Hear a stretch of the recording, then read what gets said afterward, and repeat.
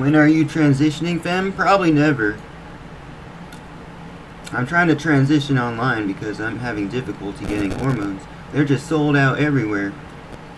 I bought these Euro Women probiotics for vaginal health and smell down there. And I can vouch these did work.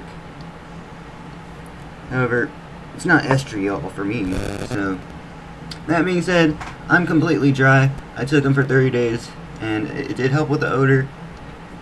Uh, they gave me a pamphlet says to take it for at least two months, but we don't have no money, so... Uh, I can vouch for those. they did give me kind of a stomach ache but they did help with the feminization. that being said, I just can't find care here, so I, I'm I'm just uh going hormone less, and uh, we try to order something online, some, and uh, hopefully we get it.